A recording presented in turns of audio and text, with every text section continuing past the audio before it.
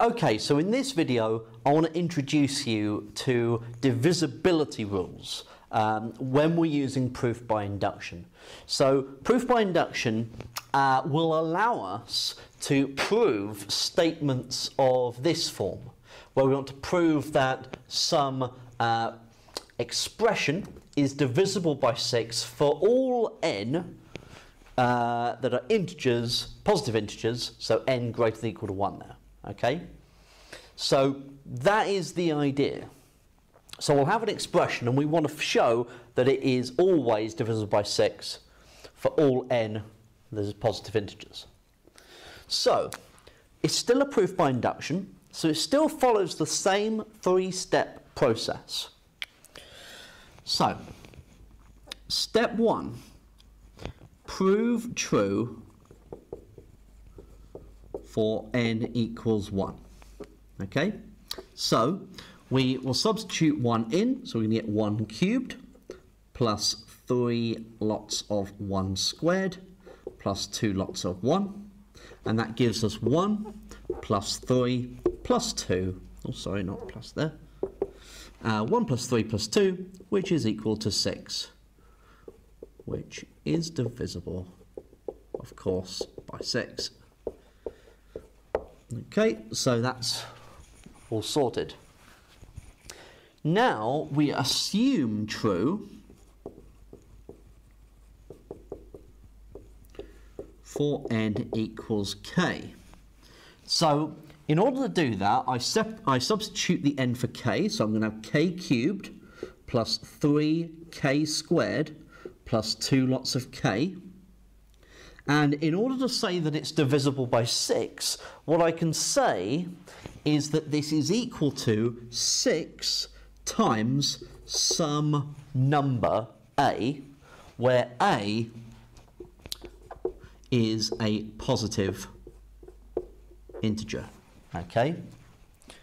So, in other words, there is some value of a where a is uh, greater than equal to 1 here, and it's an integer, um, such that uh, if, for this to be a uh, divisible by 6, it must be equal to 6 times something. 6 times 1, 6 times 2, 6 times 3, 6 times 4, etc. That's what it means. So, step 3. We need to prove that it's true for n equals k plus 1. So I'm going to need to substitute k plus 1 into this. So I'm going to get k plus 1 cubed plus 3 lots of k plus 1 squared plus 2 lots of k plus 1. And what I want to do is I want to, through algebraic manipulation, show that that is always divisible by 6. That's the plan here. Okay. So, it would be a good idea at this stage to expand the brackets. Now that's not always a good idea, but uh, we haven't really got much else to go on. So let's expand the brackets. A little bit of use, knowledge of using our binomial expansion here. So k plus 1 cubed is k cubed plus 3k squared plus 3k plus 1. Then we've got this 3 lots of k plus 1 squared. So that's 3k squared plus 3 lots of 2k, so 6k, and then 3 lots of 1, so 3, plus 2k plus 2. Okay? Right. So let's simplify this down. Let's collect like terms. I've got this single k cubed I've got a 3k squared and a 3k squared there, okay? So um, let's just write that.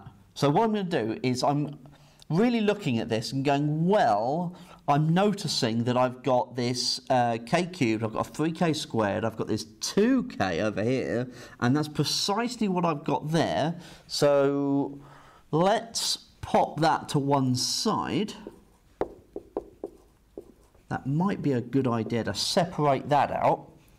Okay, and what I've got left is I've got the 3k squared.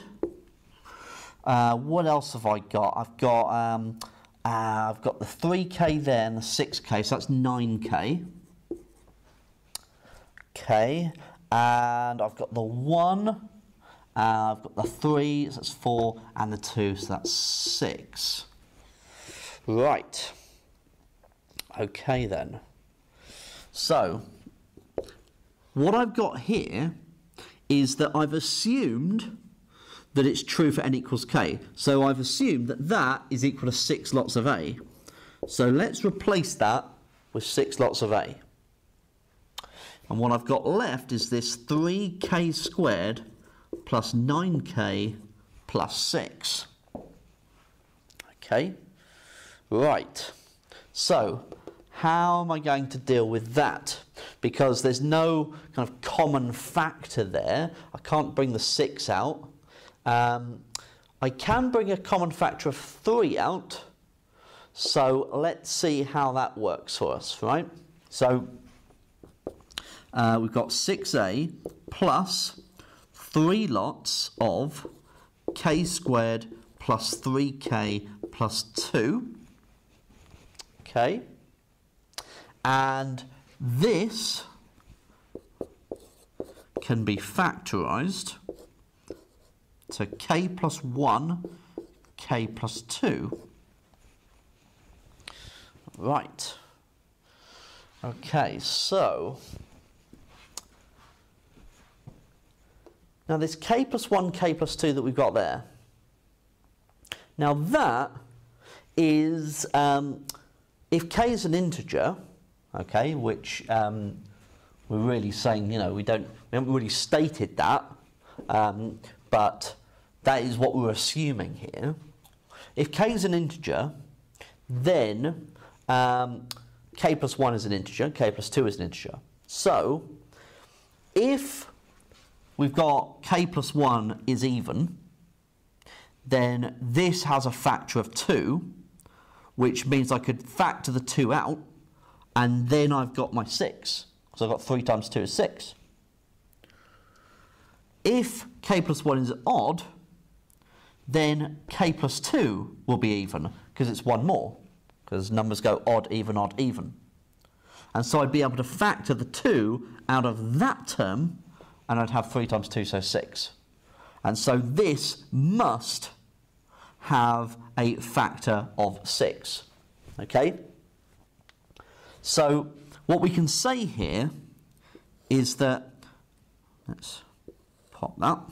So as either k plus 1 or k plus 2 uh, must be even,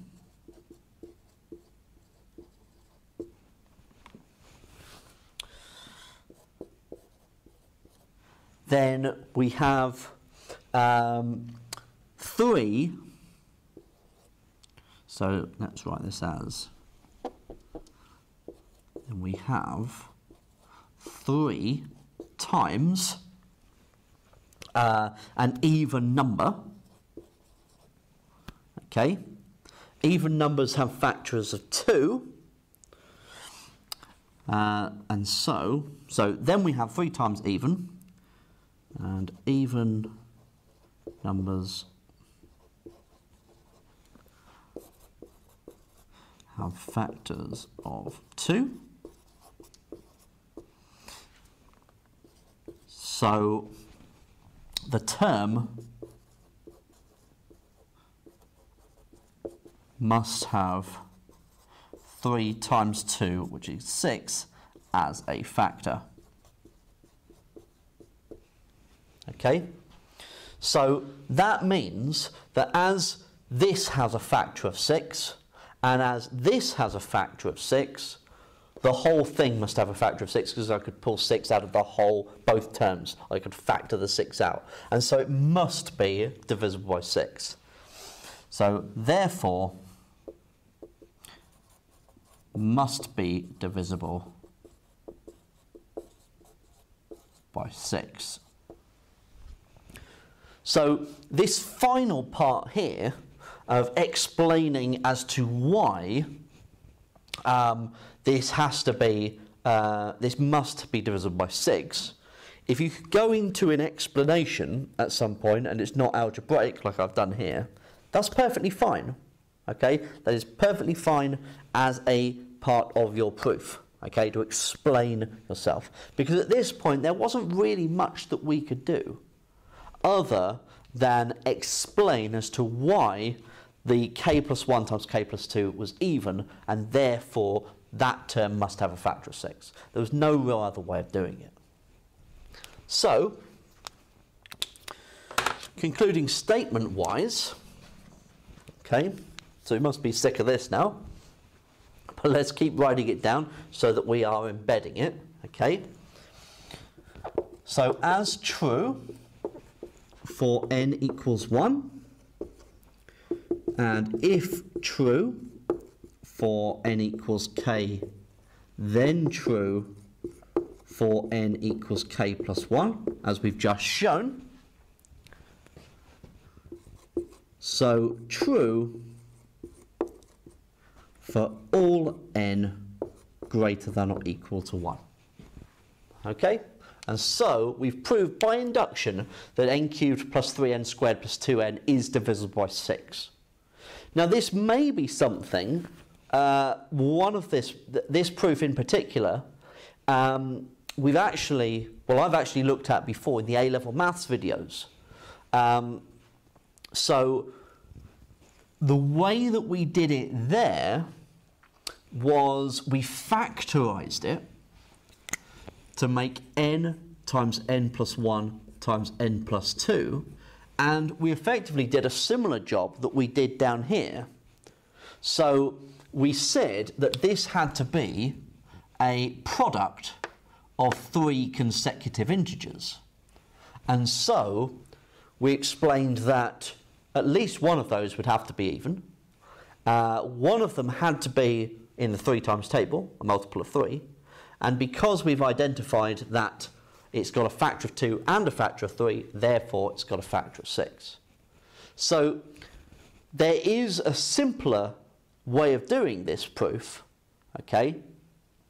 Uh, but the divisibility method here also works, okay, for proof by induction. Now, there are going to be divisibility rules um, using similar methods, as we're going to go through in the next few videos, where we wouldn't have been able to do it uh, using the method that we used in A-level maths, where proof by induction is really um, one of the only ways to do it. Okay, so we'll progress on with those, and you'll be able to see uh, the slightly different variations that you can get, ramping up the difficulty as we go.